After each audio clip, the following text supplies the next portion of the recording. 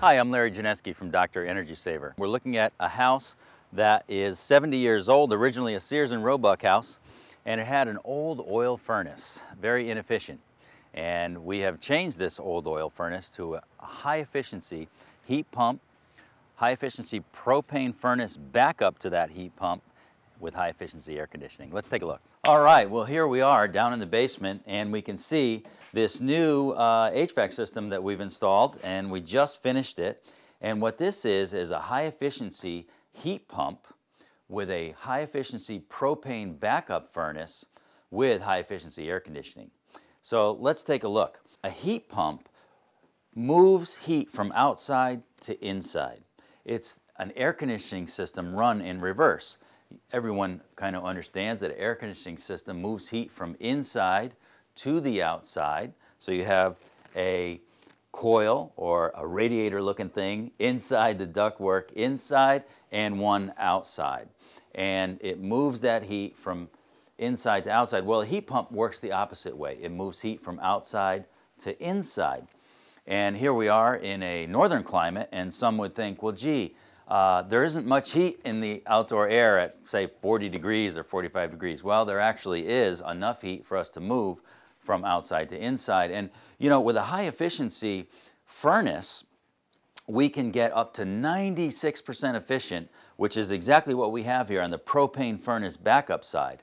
But with a heat pump, we can get up to 300% efficient because we're not creating heat. What we're doing is moving heat. We're moving it from outside to inside. So we can have these very high efficiencies and it makes it more economical to run the high efficiency heat pump, especially at the, with the equipment that we have today in this climate than it does to run the, uh, a regular furnace. Now, we have a propane backup. So when the temperature gets down below, in this case, 35 degrees, the system then starts to run on a high efficiency propane backup and it stops running the heat pump because it's more efficient to run the propane uh, than it is to, to run the heat pump. If we take a look at what we have inside here, we have, uh, we have a coil up inside here and this is our heat pump coil and our evaporator coil or our cold coil when the air conditioning is running in the summertime. Down here, we have a variable speed blower. Now, a variable speed blower is very important to high efficiency equipment because it um, doesn't run from, from zero to 100% uh, all at once. Uh, if you only need a little bit of heat, it'll run slowly. If you need uh, a lot of heat, it'll run faster. It also ramps up slower and goes down to zero slowly so that it will, for example, when it shuts off, the action of the blower running after the burner shuts off will push all the remaining heat out of the ducts into the rooms that you're trying to heat instead of trapping that heat in the ductwork. Uh, it makes for a more comfortable house because you're not like and then shut off, okay? It ramps up slowly.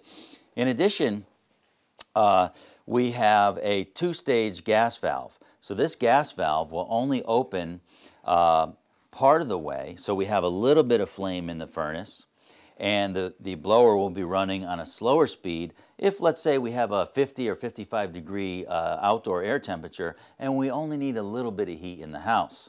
And then when we need a lot of heat, this gas valve will open fully and the blower will ramp up and ramp up and ramp up faster so we can get a lot of heat into the house. And that will uh, save energy. It's one of the components of high efficiency uh, gas uh, furnace. We have a uh, intake pipe that is PVC and it goes direct to the outside. So this furnace, when it's running is not drawing combustion air from inside this basement because if it did, like most furnaces and, and boilers and uh, oil equipment, gas equipment, water heaters do, it sucks that air from the basement or the room that it's, it's in for combustion and blows it out the chimney. Well, new makeup air needs to come into the house to replace the air that left because we essentially created a, a vacuum in the basement because we're blowing air out of the basement up the chimney. Where does that air come from? The outside. And it comes through any leak that it can get through uh, in the building assembly.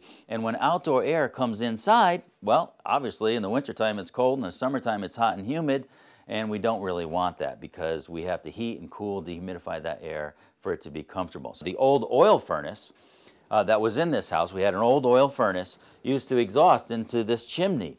And all that air that went up the chimney had to come in from the outside uh, to replace the air that left. Now we're not even using the chimney. This is our new chimney.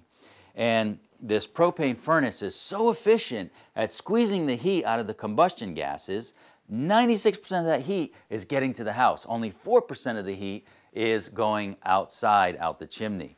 And because the exhaust gases are so cool now, we can run them through a PVC pipe. Can you imagine that? This is actually your chimney, and it can go out the side wall of the house. Another advantage uh, with a regular chimney, we can have a draft up the chimney all the time, even when the equipment is off. With this, we have dedicated air intake, dedicated air outside. We're not connected to the indoor environment.